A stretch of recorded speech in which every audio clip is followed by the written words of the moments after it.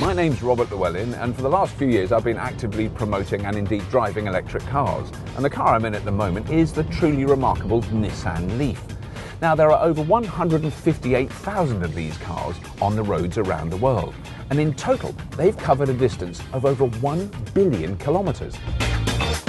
Now, the Nissan Leaf has been around for nearly five years, and yet, certainly in the early days, lots and lots of journalists were saying they don't work, they're stupid, the batteries wear out. All these old cliches are simply not true.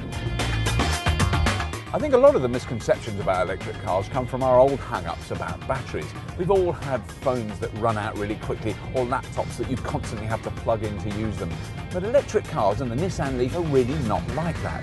So even a quick charge is fine for the health of the battery, and a full charge can last the average family a whole week. One of the advocates for the criticism of the electric car is, of course, the old favourite Top Gear, who drove a Nissan Leaf and said it was brilliant and really enjoyed driving it and said, that the only problem is the batteries might wear out. Three years later, the very car they drove in that programme is being driven every day by a woman in London, and here's the shocking truth. It's still on the road with the same battery, it's perfectly all right.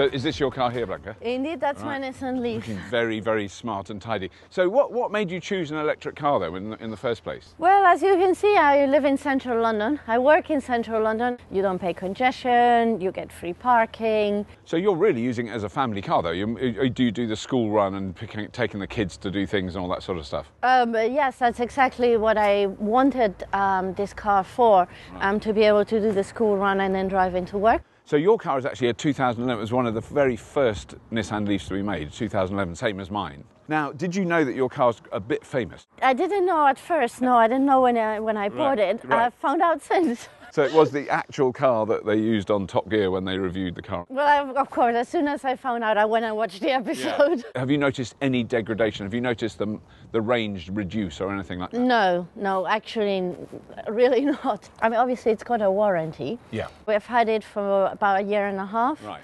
But I haven't had any problems. Well, thank you very much, Becca. It's very kind of you. So are the misconceptions about these cars a load of bunkum? Well, the reality of the matter is that across the whole of Europe, less than 0.01% of all the Nissan Leafs have had to have their batteries replaced. So it's very, very rare. In fact, the batteries in these cars have proved so reliable, there's whole fleets of taxis that rely on this technology, including eConnect cars in London. use a fleet of electric vehicles as a transport solution around London. Our clients are very positive about the Nissan Leaf. One of the biggest comments they have is about how quiet the car is and how smooth the ride is. We found the cars great in terms of their maintenance and the batteries have been very reliable in terms of the ability to recharge and maintaining that charge. They charge overnight and then we have one charge during the day to top it up and that's all we need. We've been very happy with the Leaf. We've been going for a year now. We've tripled our fleet. The demand is there. The drivers are happy. So I think it's going to be a very good future.